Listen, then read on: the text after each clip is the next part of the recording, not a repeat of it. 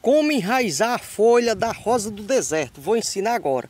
Você não vai pegar, gente, essas folhinhas aqui, ó. De cima, que tá muito fina. Essas folhas aqui, elas vão apodrecer com dois, três dias. Você vai vir aqui, ó. Nessas mais de baixo, essas folhonas gigantes aqui, grandona.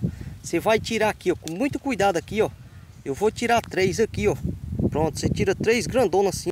Ou a quantidade que você queira. Folhona grandona assim, gente. Substrato bem úmido, não é para estar tá encharcado, mas bem molhadinho. Olha, você tenta tirar, ela sujou aqui, ó.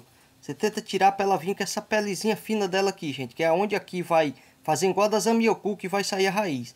Para você enterrar, eu vou, eu vou fazer aqui um buraquinho com a colher aqui, ó. Para ela não quebrar ela.